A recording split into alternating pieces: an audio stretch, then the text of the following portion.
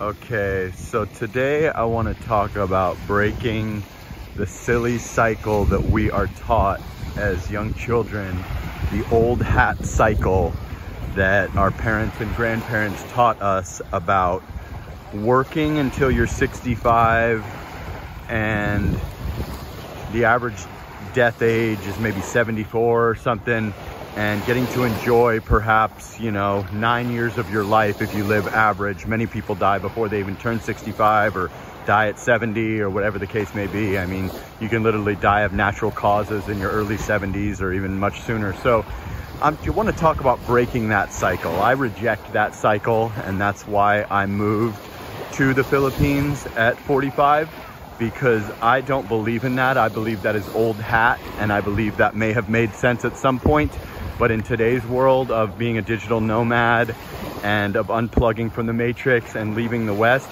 I believe that no longer applies.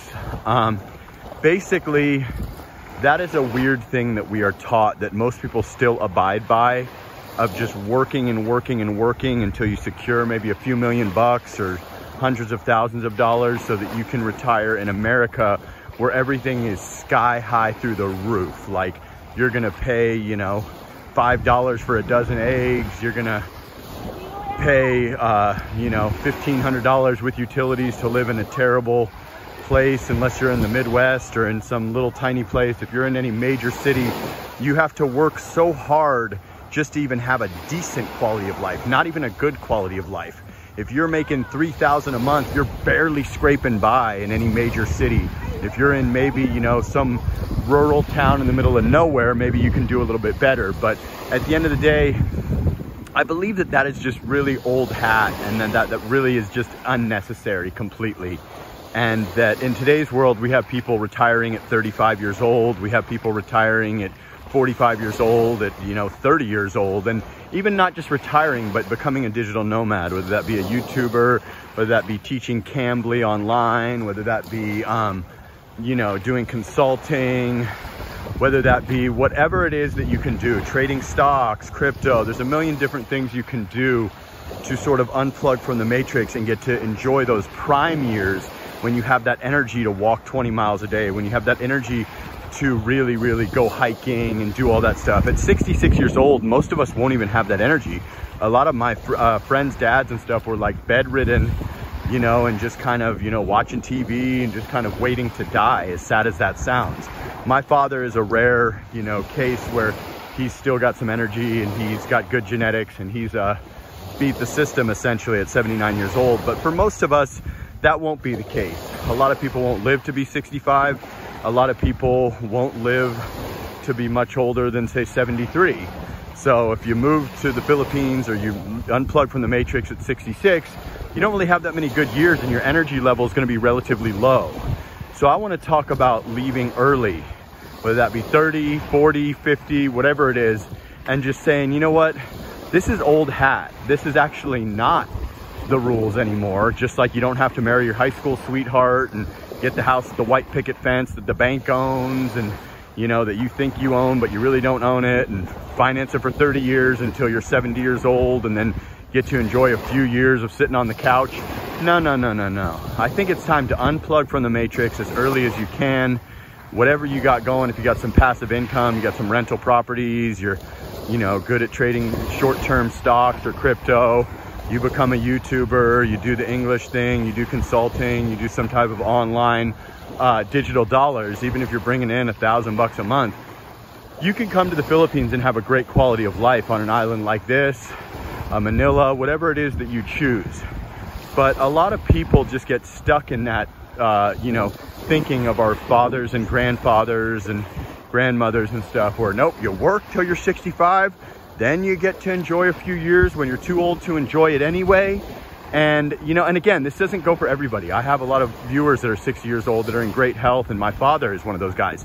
But for the majority of people, your energy level is going to be extremely low at 66 by the time you get over to these white sand beaches.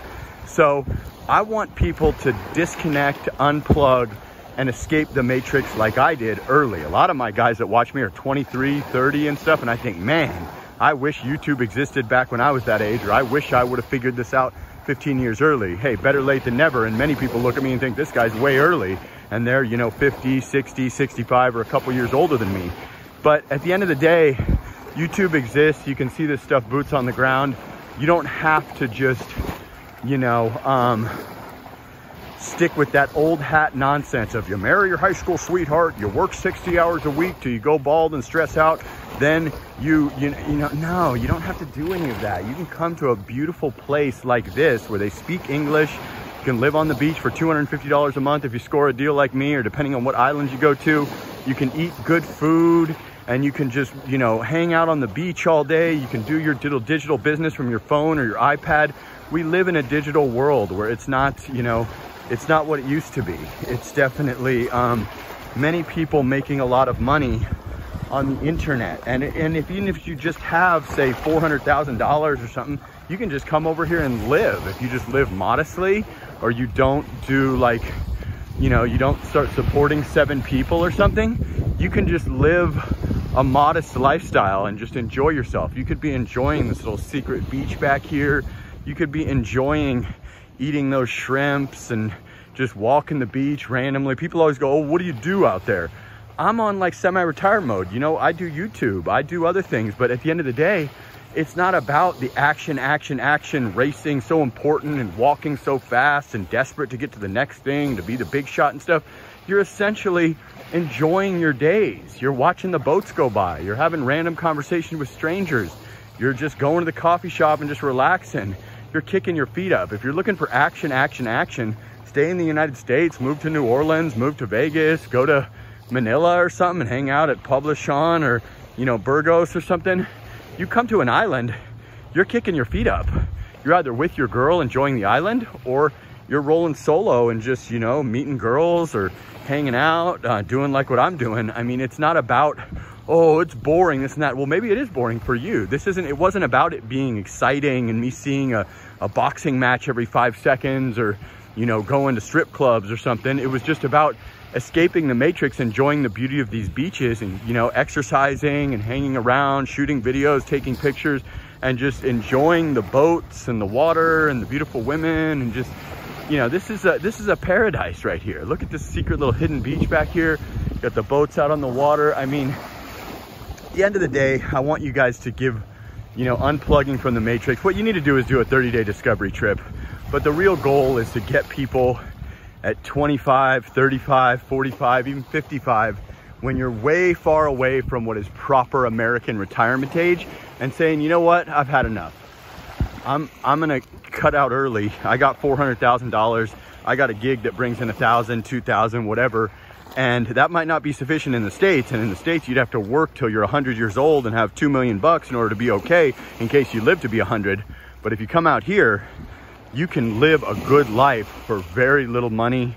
If you need help, assisted living or a cook or a, a person to clean your home or even a live-in, you can get that for 100 bucks, 200 bucks at the most.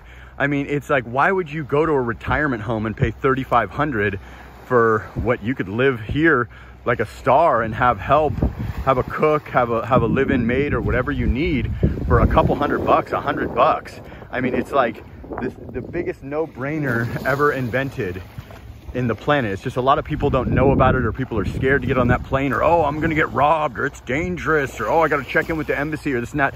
Listen, there's no danger. Be mindful of yourself. Be careful with having your phone out in public in like Manila or something. But outside of that, this is way safer than the United States. There's shootings every five minutes. There's road rage. There's this, there's that. There's, everyone's talking about the sniffles and Biden and Trump and this and that. Listen, you can escape all that, exhale, drop your blood pressure quite a bit, and you can just escape the matrix whenever you're ready. You got several hundred thousand dollars, you got a digital nomad gig, you blew up on YouTube, you're doing Cambly, the English teaching service, you know, anything like that, you're golden. You can just come out here. If you ever fail someday or some emergency comes up or your family needs you, your passport is strong. You can just go home. It's not like a big thing where you've like signed a contract to stay here forever or something. So at the end of the day, you just got to uh, unplug from the matrix and escape the West. The West is not uh, good for men anymore unless you're a six foot six with eight pack abs movie star, the West is not for you. You could be walking through this cave on this secret beach, looking at these private resorts and these long white sand beaches with boats everywhere. You don't need to be stuck in the matrix, working your ass off, angry, groundhog day, eat, sleep, repeat every single day of your life. You can just check out and come to the Philippines. Can go to anywhere, South America, anywhere else in Southeast Asia. I promote the Philippines. I live here. They speak the language. The Philippines is really the best. But at the end of the day, you go wherever you got to go. And uh, definitely leave the West, and your value will be raised. Your life will be less stressful. Your money will go tenfold. And you can really, really enjoy the quality of life that you deserve rather than working until just working yourself to death and following that old hat 100 year ago nonsense that our parents taught us about staying in the workforce until you're 65, marrying your high school sweetheart, all that. I reject all of that. And I say hello to this beautiful life that I live now. So I just want to show people that it can be done. I did it. I'm here. I didn't have a buddy that ever did it. I didn't have a friend here. I didn't have a girlfriend here. I didn't meet a girl at the airport to handcuff me at the airport. I just came out here and did it on my own. You can take your time. You're high value here. There's less of uh, uh, you than there is them. So you can make the choice. It's so hard to get into that mind frame that I'm in the driver's seat.